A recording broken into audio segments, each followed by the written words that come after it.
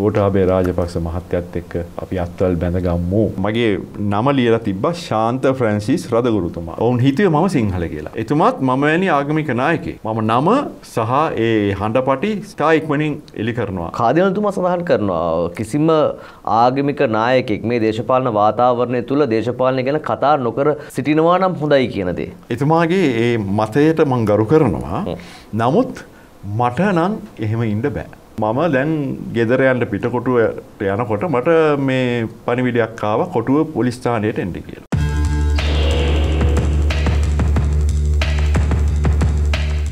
Bishop Francis පියතුමනේ විශේෂෙන්ම දැන් මේ රට තීරණාත්මක මොහොතක තියෙනවා කියලා තමයි හැම දෙනාම කියන්නේ. විශේෂයෙන්ම ජනාධිපතිවරණයක් තව දින කිහිපයයි තිබෙන්නේ. මාසයකට බොහොම අඩු කාලයක්. අඩු කාලයක්. ඔබතුමා නාගමික නායකතුමෙක්. විශේෂයෙන්ම පහුගිය දවස්වල අපි දැක්කා රට පිළිබඳ කතා බහ කරනවා. ආගමික වශයෙන් සහ දේශපාලනික වශයෙන් සහ සමාජීය වශයෙන්. ඇත්තට මොකක්ද මේ මොහොතේ අවශ්‍ය අවශ්‍ය දේ සහ මොකද්ද වෙලා තියෙන්නේ? මේ පණිවිඩය මට කියන්න තියෙන්නේ පොඩ්ඩක් ඉතිහාසයට ගිහිල්ලා. දැන් දෙදස් හය වසරය ඉතා වැදගත් වසරක් අපට මොකද එවකට මහනුවර වැදගත් පාසලක විදුහල්පතිවරයෙක්ව හදිසියේ පොලිසියෙන් අත්අඩංගුවට ගන්නවා.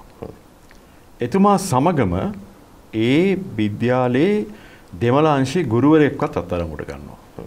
චෝදනාව LTT එකත් එක්ක දැඩි සම්බන්ධතාවයන් පැවැත්වුවා කියන එකයි. එතකොට ඒ ගුරුවරයා සිරගත වෙනවා මේ විදුහල්පතිතුමාව රටින් පිටුහල් කරනවා උසාවි නියෝගයක් අනුව. ඒ වගේම ඊට ප්‍රථමයෙන් සුනාමිය ආවනි එවෙලේ මේ පාසලෙන් පාසලේ සුභසාධනය සුභසාධක කමිටුව හෝ සංවිධානය මගින් අපි මඩකලපුවේ කාත්තාන් කුඩි ප්‍රදේශයට පාසලක් හදලා දෙනවා. සුනාමින් කඩා වැටුණ පාසලක්.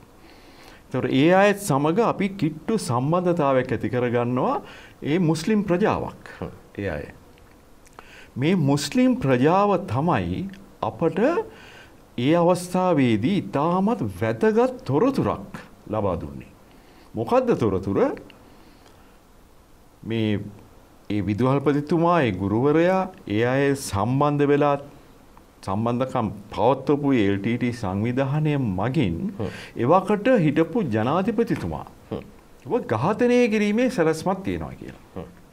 තොට ඒ අනුව මා සමග වැඩ කරපු නිශාන්තල් විස් ඉංජිනේරු මහත්මයා සාතාවත් කණ්ඩායමකට මම මේ පනිවිඩය දුන්නම ඉතා යුහුස්සුළුව ඔවුන් ක්‍රියාත්මක වෙලා විශාල ප්‍රශ්නයක් ඒ වෙලාවේ නතර කරගත්තා. ඒකට සිට ජනාධිපතිවර මහින්ද රාජපක්ෂ. මහින්ද රාජපක්ෂ මාතිකරු මහින්ද රාජපක්ෂ මැතිතුමා එතුමා ඒ වෙලාවේ ඝාතනය වෙලා තිබුණා නම් අද රට සම්පූර්ණයෙන්ම ඉතිහාසයම වෙනස් වෙන්න තිබ්බා.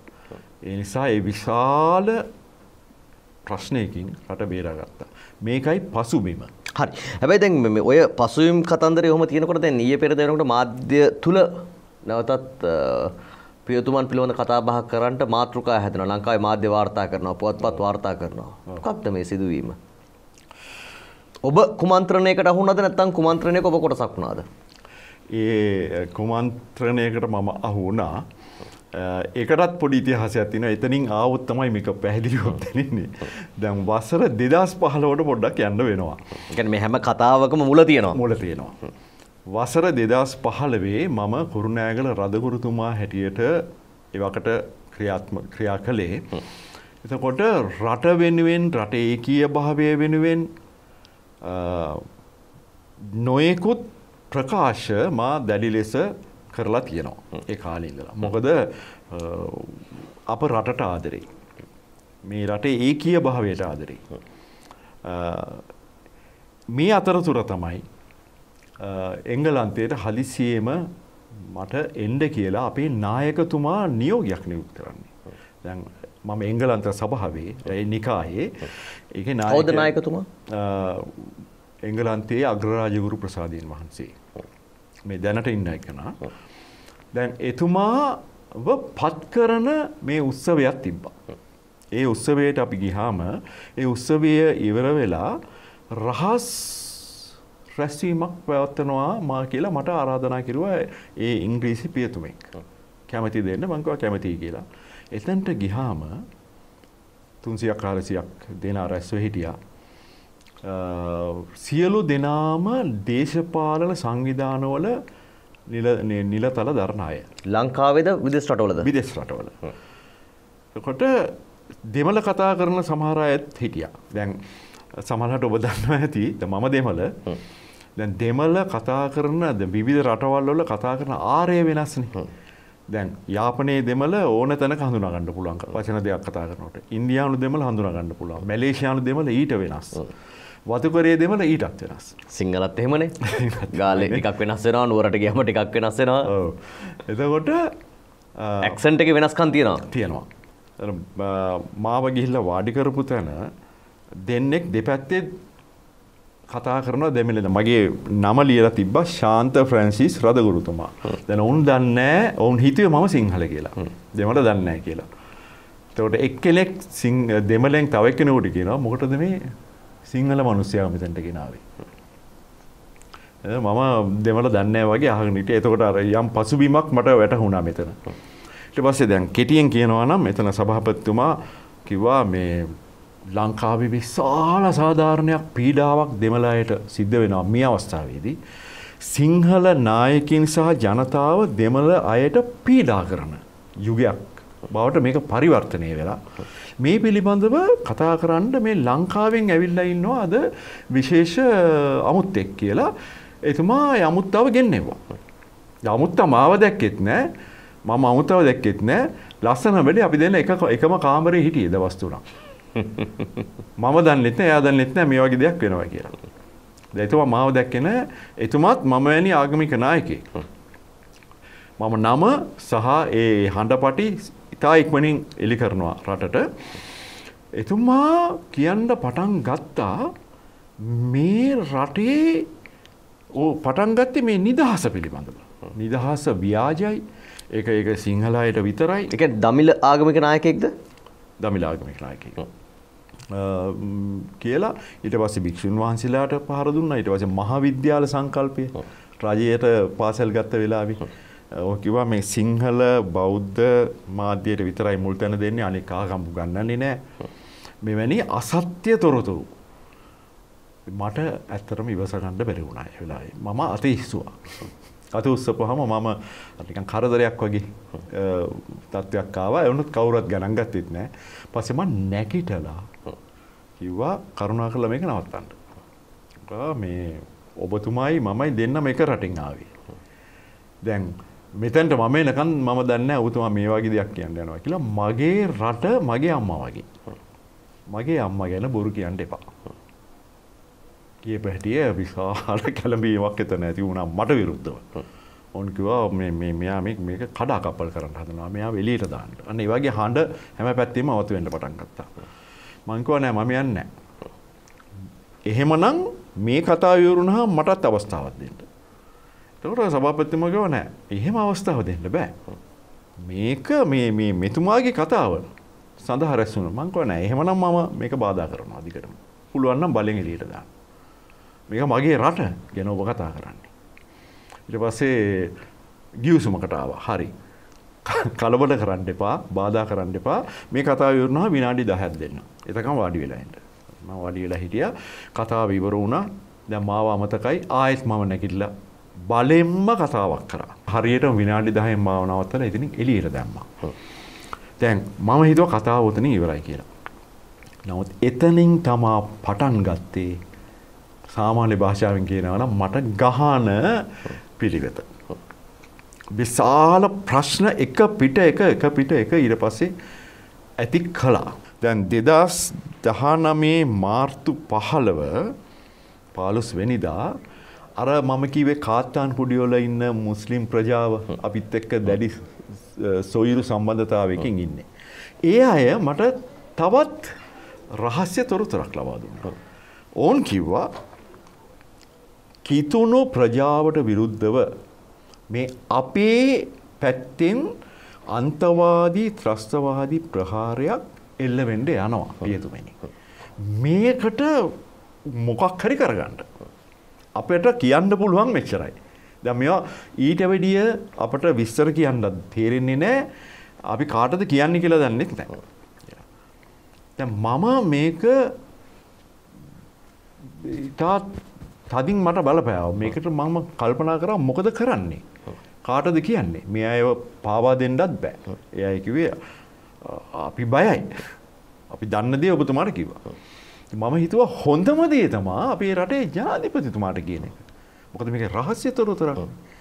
ඉතින් ජනාධිපති කාර්යාලයත් එක්කම සම්බන්ධ වුණා. එතකොට ඒ අය කිව්වා උදේ 6 හා මාරට ජනාධිපති මන්දිරයට යන්න. ජනාධිපතිතුමා හම්බෙන්න පුළුවන්. පුද්ගලිකව. දැන් මං නුවර ඉඳලා උදේ 3 හා මාරේ බස් එකේ නැගලා 6 මාර වෙනකොට ජනාධිපති නිල නිවසට එනවා ආවා අට හමාර වෙනකම් හිටියා උන් කිව්වා හද හම්බෙන්න බෑ. එහෙම දවස් 6ක් 7ක් පිට පිට ආවා. හම්බෙන්න බැරි වුණා. එතන හිටපු මම හිතන්නේ විශ්‍රාමික හමුදා නිලධාරියෙක් වෙන්න ඕනේ එතන කටයුතු බාරව හිටපු එක්කන. එතුමා කිව්වා මට ඔබතුමා ලියලා දීලා යන්න. මං කිව්වා ලියලා දෙන්න බෑ. මේක වැදගත් තොරතුරක් රහස්‍ය තොරතුරක්. මට මට ජනාධිපතිතුමා හම්බ වෙන්න ඕනේ. දවස් හයක් හතක් කොහොම ඇවිල්ලා ගියා දවස් එක දවසක් ජනාධිපතිතුමා දුර කතරෙන් මට කතා කරුවා රෑ 10ට විතර. ඒකම මම අහවලා ඔබතුමා මාව හම්බෙන්න ඇවිල්ලා තියෙනවා මොකද්ද හේතුව කියලා. මං කිව්වා ජනාධිපතිතුමනි අතිශය වැදගත් කාරණයක් තියෙනවා කතා කරන්න. ඔබතුමාව පුද්ගලිකව හමු වෙන්න ඕනේ. එතුමා කිව්වා එහෙමනම් කාර්යාලයට එන්න ජනාධිපති අර පරණ පාර්ලිමේන්තුවේ. මට මතක හැටියට 23 වෙනි දමාර්තු මම පාර්ලිමේන්තු සංකීර්ණයට ගියා. සියලු වැඩ කටයුතු ඉවරලා ජනාධිපතිතුමාගේ කාර්යාලයට ගියාම පුද්ගලික ලේකම්තුමා කියනවා ද ජනාධිපතිතුමා හම්බෙන්න බෑ මට කියලා යන්න. මංකුව නෑ ඔබතුමාට කියන්න බෑ. එමනම් ලිකිතව නෑ. මංකල ඒක දෙන්නෙත් නෑ. මේක ජනාධිපති තුමාටම කියව යුතු දෙයක්. ඒක හරිගිය නැති හින්ද මම දැඩි කනස්සල්ලට සහ කෝපයට පත් වුණා. මොකද මේක මගේ පුද්ගලිකෙල්ලීමක් නෙමෙයි. මගේ පුද්ගලික අවශ්‍යතාවන්නේ මේක රටේ කිතුුණු ප්‍රජාව වෙනුවෙන් කරන කළ යුතු දෙයක්. පසේ මම පාර්ලිමේන්තුවේ මන්ත්‍රීවරයෙක් හමුණා මම දන්න හම් වෙලා කිව්වා අනේ මට ජනාධිපතිතුමා හමු වෙන්න අවස්ථාවක් හදලා දෙන්න. මෙන්න මෙහෙමයි වුණේ දැන් දවස් ගාණක්. එතුමා එවෙලෙම දුරකථනයෙන් කතා කරලා 26 වෙනිදාට මාර්තු 26 වෙනිදා ඇවිල්ලා හම්බෙන්න කිව්වා. එදා තමයි ජනාධිපතිතුමාව පුද්ගලිකව හමු වෙන්න අවස්ථාවක් ලැබුණේ. දැන් එතනදිත් මම මේ විස්තරය කියාගෙන යනකොට එතුමාගේ කටහඬේ ස්වරයෙන් සහ එතුමා ඒක පැහැදිලි වුණා. මේක ඉච්චරම එතුමා ගණන් ගත්තේ නෑ. සාමාන්‍ය භාෂාවෙන් කියනවා නම්. එතුමා කිව්වා ඉතින් ඔව් අහම තමයි. ඉතින් කට කතා එහෙම තියෙනවනේ වියතුමනි අර අර නිලධාරියට මේ විස්තර ටික කියලා යන්නකෝ කියලා බොහොම මේ ගණන් ගන්න නැති ස්වභාවයකින් කියපහම ඉදත් මම දැඩි කනස්සලට ලක් වුණා.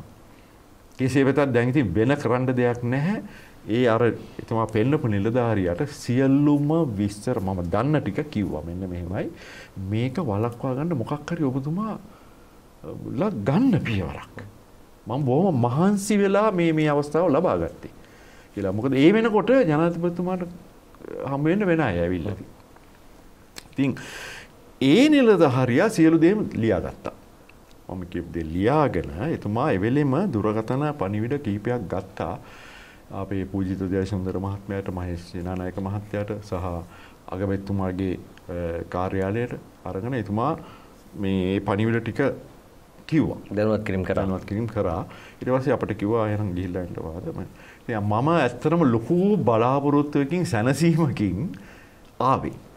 මොකද දැන් රටේ උසස්ම තැනට මම මේක කිව්වා මොකක් හරි වෙයි කියන හැඟීම සමගයි මම ආවේ නමුත් අවාසනාවක මහත හැරෙන්ඩ ඉස්සර වෙලා ජීවිත ගණනාවක් විනාස වුණා. පවුල් ගණනාවක් විලාස වුණා. ඇත්තරම මගේ ඥාතිීනු කීප දෙනෙක් නැති වුණා. පාස්කෝද ප්‍රහාරයෙන් ප්‍රහාරය. එතකොට මඩ කලපුවේ මඩ කලපුවේ සිදුවුණ ඒ විනාශයේදී හුඟක්ම දැඩි අවධාන යමුණේ කොළඹටන. ඒ පැත්තර එච්චර එච්චරලොකු අවධානයක් යමුණේ නෑ කොළඹ සහ මේගමුව කටුවා පිටිය. කටුවා පිටිය. එතකොට සිද්ධ වුණා ඉවර වෙනවත් එක්කම ඇති වුණ තත්ත්වය. දැන් අවංකව කියනවා නම් ඒ අය භූමිධාන කරගණ්ඩ අවශ්‍ය පරිසරය පවා නැති මේ පසුබිමක් නැති පවුල් රාසියක් හිටිය. එතකොට ඒ අය ඉල්ලන්නේ කාගෙන්ද මේවා ඉල්ලන්නේ අපෙන්. අනේ අපට මෙහෙම මේ උදව්ව කරන්න මේ උදව්ව කරන්න. බලතමයි ප්‍රදේශවල ආගමික නායකින්. ඔව්. එතකොට මේ දැන් දැන් අපි කියමුකු මඩ කලපුවේ ඒ පවුල්ල පවුල්ල නෑ පිරිස් ඉන්නවා කෑගල් ඉන්නවා කුරුණෑගල ඉන්නවා මහනුවර ඉන්නවා ඒගොල්ලෝ දුවගෙන ඇවිල්ලා කියන අනේ අනේ බිෂප්තුමනි මේ දේ කරලා දෙන්න මේ දේ කරලා දෙන්න. එතකොට ඒ වෙලාවේ මම මොකද්ද කියන්නේ? රජයෙන් ඉල්ලන්න කියන්නද මුදල් නැහැ කියන්නද? ඒ වෙලාවේ අපට කරන්න පුළුවන් එකම දිහ තිබ්බේ මුදල් තියෙන අයගෙන් ගිහිල්ලා ඉල්ලන එක. අනේ මට මෙච්චර මුදලක් දෙන්න මෙච්චර මුදලක් දෙන්න මෙච්චර මුදලක් දෙන්න. මේ මේ මේ වැඩේ කරගන්න ඕනේ. ජනතාව වෙනුවෙන්. ඔව්. ඉතින් හැම පැත්තෙම අපි මුදල් ලබාගෙන ඒ අවශ්‍යතාවය ඒ වෙලාවේදී අපි ඉෂ්ට කරා. මොකද ඒක මානුෂික අවශ්‍යතාවයක්. ඊට පසුව තමයි සංවිධාන සහ සමිති සමාගම් ආවේ. ඒගොල්ලෝ සංවිධාන වෙනකොට වෙන්න ඉස්සෙල්ලා කරන්න ඕන දේවල් රාශියක් තියෙනවා. එතකොට මේ වැඩ ඔක්කොම ඉවර වෙනකොට අපි හතර පැත්තෙන් ණය වෙලා. එතකොට ඒ ණය ගත්ත මුදල් අපි ගෙවල දාන්න එපා. දැන් ගෙවා ගන්න යනකොට ලොකු ප්‍රශ්න රාශියකට අපි මුහුණ ඒ මොහොතේ පියතුමන් ඉල්ලගත් එක ණයක් හැටියට ඉල්ලගත්ත නැත්නම් ආධාරයක් හැටියටද? සමහර අය ආධාරයක් හැටියට ඇත්තට සමහර අය කිව්වා මේක අවශ්‍ය නැහැ අපට. නමුත් සමහර අය ණයක් හැටියට දුන්නා. ඇත්තටම පොලියට පවා අපි ගත්තා. කොටිම කියනවා නම් මේ මේ අවස්ථාවේදී මේක ඉවරයක් කරන්න ඕනේ කියලා. ඊට පස්සේ මේ ණය ගෙවීම සමහරලාට පැහැර හැරුණා. පොඩ්ඩක් දැන් සමහර අය අපට කිව්වා මේ මේ බිෂප්තුමනි මේ දේ කරලා දෙන්න බැරි නම් අපේ ළමයාව පාසලට දාලා දෙන්න ඕගොල්ලන්ගේ පාසලකට. දැන් එවැනි යෝජනත් ඒ අතරතුර ආවා. මම ඒ වෙලාවේදී කිව්වා මම සම්මාන රද ගුරුනේ. මට ඉස්සර වගේ බලයක් නැහැ. නමුත් මං දැඩි උත්සාහයක් දරන්නම්. අන්න එවැනි අවස්ථාත් ගොඩක් තිබුණා. ඉතින් මේ තත්ත්වය මෙහෙම තියෙද්දී මම මගේ නෑ පිරිස් නැදම් පිටරට ඉන්නවා. ඒ වගේ සහෝද මගේ සහෝදරය ඉන්නවා. ඒ වගේ අයගෙන් මුදල් ඉල්ලාගෙන මම මේ ණය පියවගෙන පියවගෙන කොතරම් විතර මුදල් ප්‍රමාණයක්ද? ලක්ෂ පහක් හයක් වගේ මෙයා කරගෙන එනකොට සමහර මුදල් අපට ගෙවා ගන්න බැරි අවස්ථාවක් ආවා. ඔය අවස්ථාවේදී තමයි මම පාස්කු ප්‍රහාරය පිළිබඳව දැඩි මත ඉදිරිපත් කරේ. මොකද රට වෙනුවෙන්. සහ මේ නැති වුණ ජීවිත වෙනුවෙන්. ඒ ආත්මවලට යම් නිවාහනක් නම් සැපතක් ලබෙන්ඩ නම් අපි අපි හඬකන ගණ්ඩ පැය මේ අය වෙනුවෙන් සාධාරණත්වයක් ඉෂ්ට කරන්න කියලා. එතකොට මං හිතන්නේ යම් යම් පාර්ශවයන් ඊට අකමැති වෙන්ඩ ඇති. දේශපාලික වශයෙන් දේශපාලනික වශයෙන්. තර මෑතකදී මේ මේ ඊයේ පෙරේද මම මේ එවැනි ප්‍රකාශයක් කරලා මම දැන් ගෙදරයන්ට පිටකොටුවට යනකොට මට මේ පනිවිඩයක් ආව කොටුව පොලිස්ථානයට එන්ඩි කියලා. මොකටද මේ කට උත්තරයක් ලබාගන්නට. දැන් එතන්ට ගිහාම ඒ පොලිස් නිසාරිය කියනවා මේ ඔබතුමාට අපව යන්න බෑ. ඔබතුමා ඔබ අපට අත්තනම් කොට ගන්න සිද්ධ. එකවත්දේ. දැන් දවස් දෙක තුනක් ඇති. මට ඇතනම හිනා ගියා. මංගවා ඇයි ඒ කියලා. නැනෑ ඔබතුමා මෙම මුදලක් අරන්තියනවා මේ පාසලක් පිළිබඳව මේ ප්‍රශ්නිකුත් තියෙනවා. ළමෙක් දානොය කිලෝ අය ප්‍රශ්නිකුත් තියෙනවා. ඒ නිසා ඔබතුමාට ඔබතුමාව යවන්ඩ බෑ. ඔබතුමා මෙහින්ඩ ඕනේ. ඉතින් ඒ අවස්ථාවවිදීම මට තේරුණා මෙතන මොකක්දෝ පසුබිමත් තියෙනවා. මේකට ඇති මං ඇහුව කාක මේ මෙච්චර දවස් නැතු මේ අද මොකද මේ? නෑනෑ නෑති අපි අපේ රාජකාරය කරන්න ඕනෑ. ඒ වගේ කෙසේ වෙතත් ඔය විදිහට තමා වුණේ. හැබැයි ඒකෙන් අපි සැලෙන්නේ නෑ. යම් අසාධාරණයක් පිළිබඳව කතා කරන්න තියෙනවා නම් දිගටම කතා කරනවා. මගේ ඉල්ලීම මේකයි. ජනතාවගෙන් මම ඉල්ලන්නේ. දැන් අපි යථාර්ථයට එමුකෝ සත්‍යයට එමුකෝ. දැන් ජනාධිපතිවරණයක් අත ළඟ. අලුත් යුගයක් කරා පාතබන්නට අපි ලකල ඇස්සි වෙනවා. දැන් මෙතනදී තිස් ගානක් ඡන්දේ ඉල්ලනවා. 35 දෙනෙක්. 35 දෙනෙක්. එතකොට ඒකෙන් ප්‍රධානම අපේක්ෂකයන් දෙන්න පිළිබඳව ගත්තොත් දැන් ඇතරම මම විවෘතව කතා කරනවා සජිත් ප්‍රේමදාස මහත්මයා පිළිබඳව අපි කතා කරනවා නම් එතුමා සමග එකතු වෙලා ඉන්නවා මේ මේ අන්තවාදී ත්‍රස්තවාදී මුස්ලිම් නායකින් එක සම්බන්ධතා පවත්වපු රාජ්‍ය ඇමතිවරු හතර දෙනෙක්. එතකොට අපි කොහොමද මේකට සාධාරණත්වයක් ඉෂ්ට කරන්නේ. ඒ නිසා මම මගේ කිතුුණු ප්‍රජාවට කියන්නේ. මේ තත්ත්වය අනු එක්ක අපට මේ චන්දය එතුමාවිනින් පවිච්චි කරන්න බෑ. ගැන අපි මිනිස්සුනේ. බට බට අතරපති ප්‍රශ්නයක් දැන් පියතුමන් රිජෝම ප්‍රකාශ කරන සජිත් ප්‍රමදාසට උතුමන් කිතුන් ප්‍රජාවට කියනවා කියලා චන්දිදින එපා කියලා ඕ එහෙමනම් එපා කියන්නේ මෙහෙමයි. දැන් අපි සියලු දෙනාටම අපට අයිතියක් තියෙනවා. තමන්ගේ අදහස වෙනුවෙන්. වෙනුවෙන්. නමුත් කොතරම් සාධහරණද එම චන්දය එතුමාට පාවිච්චි කරන එක මෙවැනි අන්තවාදී පිරිස් එක සම්බන්ධකම් පවත්තු රාජ්‍යමතිවරු තිදෙනෙක් හතර දෙනෙක් එතුමා සමග අත්වල් බැඳගන්න හරි. එමනම් එතකොට එමන තින පිළිතුරතමයි අප අනි පැත්තෙන් ඔබතුමන් මේ පියතුමන් කියන්නේ ගෝටාබ රාජපක්ෂතමයි එහෙමනං සිටින වඩාත් ගැලපෙන නිවැරදි කෙනා. අනිවාර්යෙන් වෙන විකල්පයක් මේ අවස්ථාවේදී නැහැ. හැබැයි දැන් මේ පියතුමනේ දැන් කාදිනතුමා සඳහන් කරනවා කිසිම ආගමික නායකෙක් මේ දේශපාලන වාතාවරණය තුළ දේශපාලනය ගැන කතා නොකර සිටිනවා නම් හොඳයි කියන දේ එතුමාගේ ඒ මතයට මං ගරු කරනවා නමුත් මට නම් එහෙම ඉන්ඩ බෑ. එකක් මොකද මේ රටේ යහපත පිළිබඳව හද ගැස්ම අපට තියෙනවා.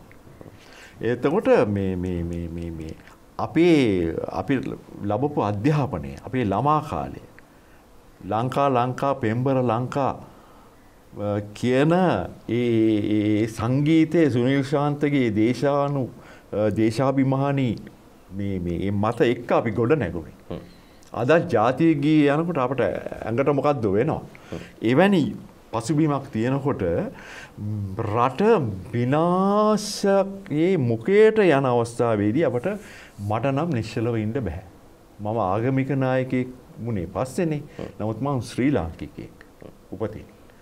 එහෙමනම් දැන් පියතුමන්ගේ අදහස මට දැනගන්න. කාදිනල්තුමා මේ වෙලාවේ සිටියුත්තේ කොතනද? කොයි වගේ අදහසකද? කාඩිනල්තුමා මේ ඍජුව දේශපාලනයට සම්බන්ධ වෙන්නේ නැහැ. පක්ෂ දේශපාලනයට. ඒ විතරක් නෙමෙයි.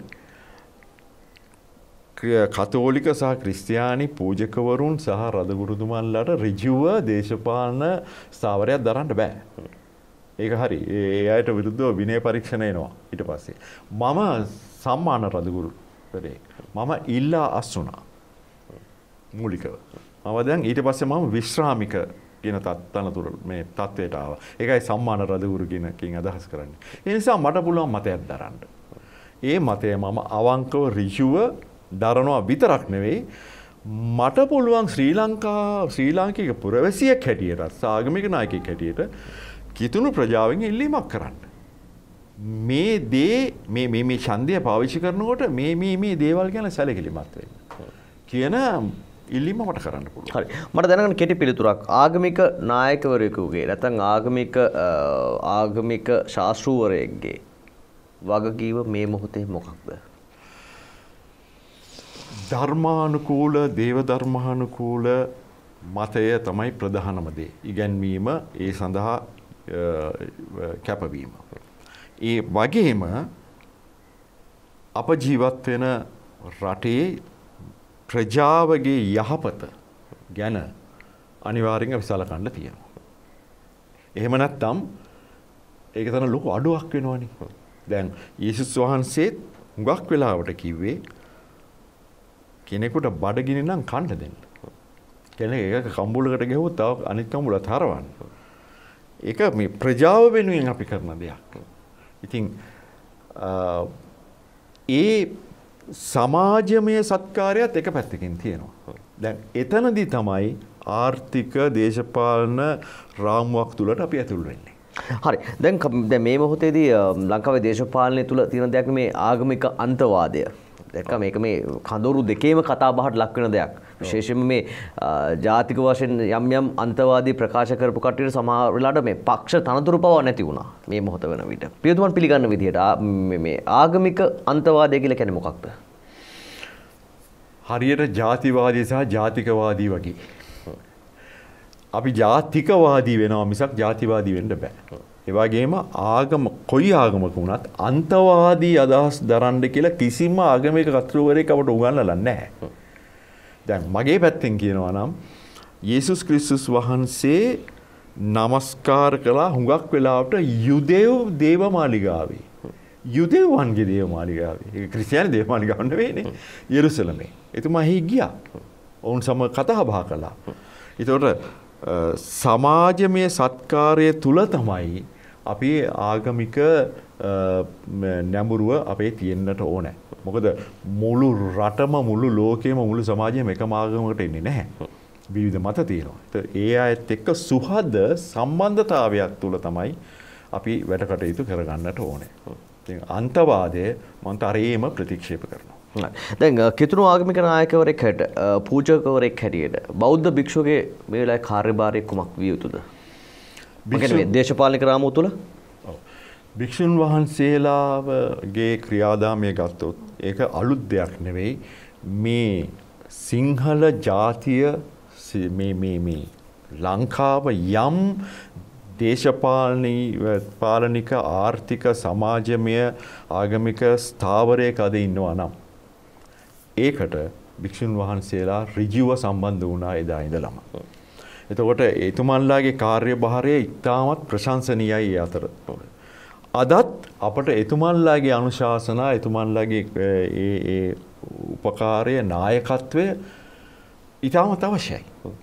ඒ තුළ තමයි අපි ගොඩනගෙන්න්නට ඕන. මොකද මේක මේක සිංහල බෞද්ධ රටක් කියනක අපි අමතක කරන්න හොඳනෑ. ඒ පදනම තුළතම අපි ගොඩනගෙන්න්නට ඕන. සහජීවනය ගැන අපි හිතන්නට ඕන සිංහල බෞද්ධ පදනම තුළ හරි දැන් මෙවර මේක ප්‍රධාන කඳුරු දෙකේම ප්‍රධාන මාතෘකාවන් සහ ලංකාවේ ජන සමාජයේ ප්‍රධාන දේ බවට පත්වලා තියෙනවා මේ මුස්ලිම් නායකයින් කොයි පැත්තරද සහයෝගය දක්වන්නේ බදුරුදීන් වැනි කෙනෙක් එක්සත් ජාතික පක්ෂත් එක්ක ඉන්නකොට සමහර අය ඉඳන් කියන බොහෝ වෙලාවට මේ හිස්බුල්ලා වගේ කෙනෙක් රාජපක්ෂ කඳවුරේ සහයෝගය දක්වන කෙනෙක් බවට පත් වෙන්නට පුළුවන් කියන දේ. ඔව්. මොකක්ද?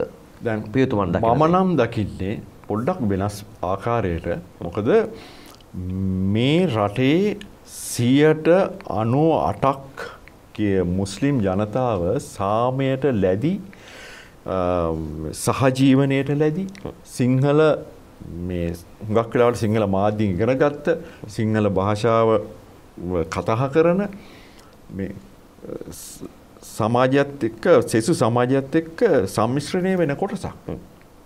එතකොට ඒ අයගේ ඒ අය මේ ශ්‍රී ලාංකීය සමාජයේ අට අවශ්‍යම කොටසක් ඒ අය. නමුත් අර අන්තවාදී අදහස් දරන ත්‍රස්තවාදී අදහස් දරන පිරිසක් ඉන්නවා සංවිධාන තියෙනවා ඔවුන් සමග සම්බන්ධකම් පවත්තන ඉන්නවා. ඒ අය ගැන තමයි කොයි පක්ෂය වුණත් පොඩ්ඩක් පරිසම් විය පොඩ්ඩනේ හොඳටම පරිසම් වෙන්න ඕන. මොකද ඒ අය සමාජ සත්කාරයට එන අය නෙවෙයි. සමාජයට විනාශයක් ගෙන එන අය කියන එකයි මගේ මතය. ඒත් එක රටක් දුවන්න අමාරුයි අමාරුයි. අනිවාර්යෙන්ම මේ අමාරුයි ඒවගේම තම දෙමළ ප්‍රජාව. දෙමළ ප්‍රජාව ගත්තත් බහුතරයක් මේ සිංහල අයත් එක්ක සම්මිශ්‍රව සංහින්දියාව ජීවත් වෙන්න කැමති අය. නමුත් අන්තවාදී අදහස් දරන සමහර දේශපාලන නායකයන් ඉන්නවා දෙමළ ප්‍රජාවේ. ඔවුන් තමයි භයානක. ඔවුන් මේ අයව හුඟක් වෙලාවට ඒ අර සම්මිශ්‍රණය වෙන සාමයට ලැදිකම් ඉන්න ඒ තත්ත්වයෙන් පොඩ්ඩක් වෙනස් කරන්න. කවුදේ? නායකින් කීප දෙනෙක් ඉන්නවා මේ ලංකාවේ. බොහොම ස්තුතියි ෆේස් ටු ෆේස් වැඩසටහනට ෆ්‍රැන්සිස් බිෂොප් ෆ්‍රැන්සිස් පියතුමන්ට සහභාගීව පිළිබඳ අවසාන වශයෙන් දැනගන්න කැමති මොනවද රටේ ජනතාවට පියතුමන්ට කියන්න තියෙන්නේ. ඇත්තටම කියනවා නම් අර මම ඉස්සල්ල කතා කරපු සුප්‍රීම් උසාවියේ නඩුත් ගොනු කරලා තියෙනවානේ මේ බෝම් මේ බෝම්බ ප්‍රහාරය පිළිබඳව. දැන් ඒ නඩුවලට අමතරව මාගේ ඒ හෙළිදරව් කිරීම සහ තවත් කරුණු රාශියක් ගොනු කරලා අපි සූදානම් වෙනවා වෙනමම නඩුවක් ගොනු කරන්නට මේ විනාශ වෙලා ගිය එම සමාජයේ නැති වෙලා ගිය එම ජීවිතවලට යම් සාධාරණත්වයක් ඉෂ්ට කිරීමේ අරමුණේ. කියන්නේ අප්‍රේල් 21 පාස්කු ප්‍රහාරය සම්බන්ධයෙන්. සම්බන්ධයෙන්. හරි. එතකොට අපේ සංවිධානයක් තියෙනවා දේශ හිතයිශී කිතුුණු සංසදය කියලා. මේ සංසදය මගින් තමයි අපි මේ නඩුව ගොුණු කරන්න යන්නේ. මෙම නඩුව ගොුණු කිරීමට ඇත්තවශයෙන්ම කියනවන විශාල මුදලක් යනවා. තුප්‍රි මුසාවී. ලක්ෂ තිහකට ආසන්න මුදලක් අපට හොයාගන්න තියෙනවා. ඊට ප්‍රථමයෙන් මම ඉල්ලිමක් කරනවා නීතිඥ මහත්තුරු ඉන්නවා නම් මේ රට ගැන විනාශවී ගිය මේ ප්‍රජාව ගැන යම් සේවාවක් ඉෂ්ට කළ යුතුයි කියලා හිතන. එයට පුළුවන් නොමිලේ අපට මේ සේවාව ලබා දෙන්න ඕන. ඒ වගේම අපට මේ මුදලක් අපට අපි හොයාගන්න ඕන. නැවතත් මම ගිල්ල නයට ඉල්ල ඉටවස හිටපුුවන් කොටුව පොලිසියටයි අය තව පොලිසිකට එන්න කියයි. ඒ නිසා අපට යම් ආධාරයක් රුපියලකින් හරි දෙන්නට කවුරහරි කැමති නම්. මම කැමති මේ අවස්ථාවේදී අපේ ඒ කිතුුණු සංසදය කියන සංවිධානයේ බැංකු අංකය කියන්න. මේ කමර්ශල් බැංකුවේ මෙන්න මේ ගිනුමට කරුණා කර මේ මුදල් තැන්පත් කරන්න රට වෙනුවෙන් රටේ කිය භාවය වෙනුවෙන් රටේ ඉදිරි පැවැත්ම වෙනුවෙන්. ඇතනම් ප්‍රජාවක් හැටියට අපි මේක ඉෂ්ට කළ යුතු දෙයක්. කමර්ශල් බැංකුවේ ගිනුම් අංක අටයි බින්දු දෙකයි හතරයි එකයි හැට හතරයි නමසිය පනස් හත මම නැවතවරක් කියන්නම් අටසීයයි හාරසිය දාසයයි හාරසිය අනූ පහයි හත කියන මේ ගිනුම්මට කරුණා කරලා ඔබට පුළුවන් විදිහට යම් මුදලක් මේක තැන්පත් කරන්න අනිවාර්යෙන් අපි මේ ප්‍රජාව වෙනුවෙන් ඒ දේශට කරනවා. අවසාන වශයෙන් එක ඉල්ලීමක් තියෙනවා. සාමාන්‍ය භාෂාවෙන් කියනවා නම් කොන්ද පණ තියෙන රටට ගැඹුරු දර්ශනයක් දෙන ගෝඨාභය රාජපක්ෂ මහත්තයත් එක්ක අපි අත්වල් බැඳගම්මු.